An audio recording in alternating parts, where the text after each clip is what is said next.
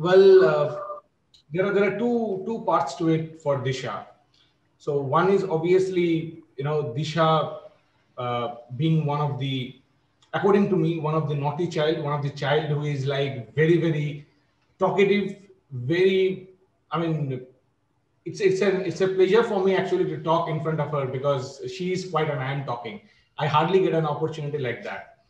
and I, I really feel that you know the teachers the teachers in Little Red could manage her so well, and uh, you know could could actually uh, could actually match or could actually uh, you know tolerate all her tantrums, all her naughtiness, and can nurture her to be the person what she is at this moment is really a great great achievement. So kudos to all the teachers.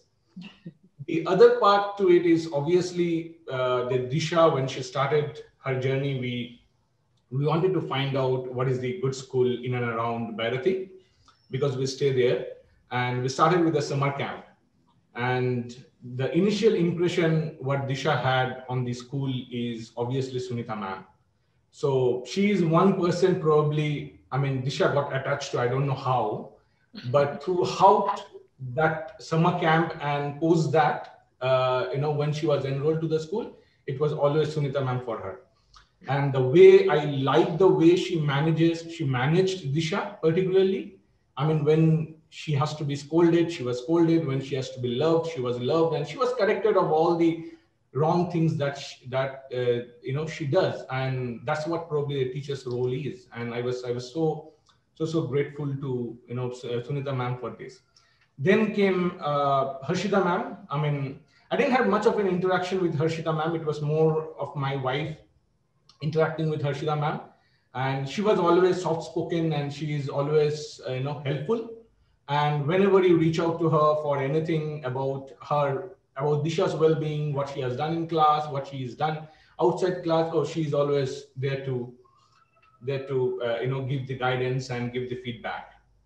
The other, uh, I mean, the, the third person for Deesha in, in Little Red Hen was obviously ma'am because she was availing daycare. So Mary was one of the integral part of her, uh, you know, life, Deesha's life. So I still remember there are times when I used to feel guilty. I used to come running from school to pick her up. And Deesha used to tell me, Papa, will you wait for, uh, you know, 30 minutes? I will finish my snacks and I will come out.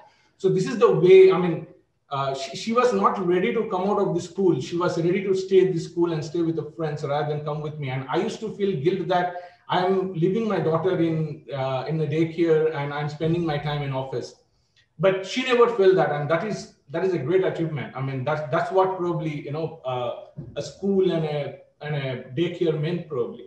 So kudos to kudos to Mary ma'am.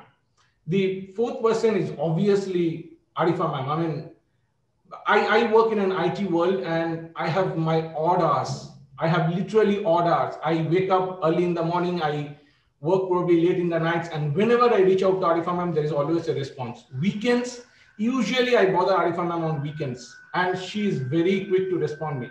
I think I have I have never ever uh, you know reached out to Arifa in anything on time. I mean in my in, in the regular time of the school, but she was never uh, you know irritated or never uh, even told me that no I'm not available for this. She was always there for me always there for Deesha, always there for our queries, always there for everything. So I think Arifa ma'am should work work in a corporate world wherein she is like, you know, 24 bar 7 available. Pretty much 24 bar 7 available. I never had a problem. There were times when I actually reached out to her at 11:30 p.m. with the recordings of Deesha, and she said, Thank you, sir. And I was wondering what time Arifa ma'am actually works in a day. Uh, it was it was amazing. Thank you, ma'am. And then my my wife is always panicked about how Deesha uh, learns things, how Deesha is getting things, is she good in curriculum? So she reached out to Arifa ma'am and said that you know during this we all know how the pandemic hit us and then the entire mode of uh, teaching had changed a lot and we all were, were were trying to cope up with it because nobody knew how it would be and uh, you know and probably government has the least focus on these little kids government don't even think about them other than i mean government themselves are bothered about the old uh, elder uh, students uh, who are going to take class 10, 12. Forget about this bunch of uh, children. So anyway, uh, so uh, I mean, there was time when Deesha couldn't understand concept, and uh, my my wife reached out to Arifa ma'am said that ma'am, this is the problem. She she don't understand the concept.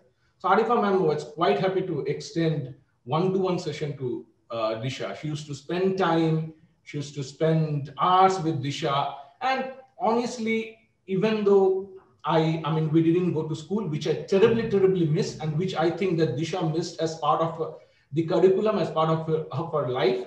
But we never, uh, but due to the small things which Arifa ma'am did, which the school did, it always, uh, you know, give you an impression that you, you made the right choice while choosing the school. Okay. And I, I was, I was thoroughly enjoyed my interaction with teachers. I thoroughly enjoyed my interaction with school. Uh, and last but not the least, Smita ma'am, right? I mean, I, I I don't know how many of parents actually reached out to Smita ma'am, but I reached out quite often. And you know, uh, Arifa ma'am know that we are a bit panicky parents. We try to reach out to Smita ma'am for everything. So she will make the arrangement, and we will reach out to Smita ma'am, and she will be quite relaxed, and she will give us the required guidance. Sometimes she will tell us that, oh, ma'am, you have, uh, you know, you have already met the plan.